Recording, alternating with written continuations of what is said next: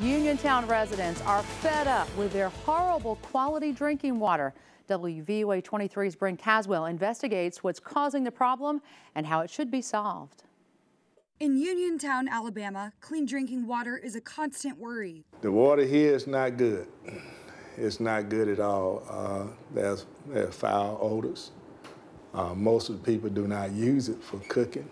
Most of the people does not drink it. The problem is with the town's current lagoon wastewater treatment system and the impermeable clay soil found in the Black Belt region. The volume of wastewater from residents and industries in Uniontown was not accurately accounted for by the Alabama Department of Environmental Management, which throws off the entire treatment system. When you have a spray field on something like that, it's constantly spraying water onto the field. That means that the clay is constantly swollen and you're, you're not going to get any infiltration. Soil that does not allow fresh water to infiltrate back into the ground stops the wastewater purification process from happening. Since the original lagoon wastewater treatment system in Sprayfield that Sentell Engineering built failed, many are questioning why are they rehired to build the same one over again?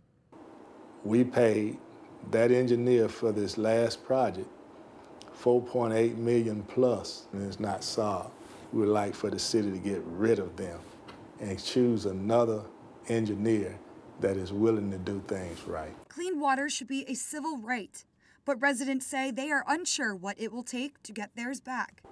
We just want